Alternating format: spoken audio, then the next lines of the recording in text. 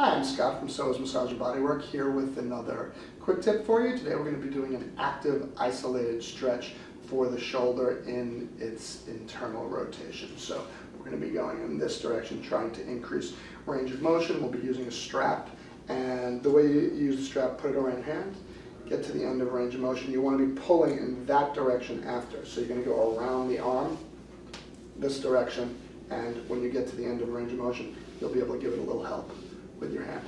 Start in external, I'm sorry, start in external rotation and then go into internal rotation, help with the strap. Back out, help with the strap. Make sure you're using the muscles of this arm to get through this stretch. Don't just use the strap, just use it to help at the end multiple passes, 10 to 12, something of that sort, uh, nice and slow, uh, no pain as you're doing this, um, and increasing this range of motion is really, really easy. See how it works for you? Again, I'm Scott from Psoas Massage and Bodywork.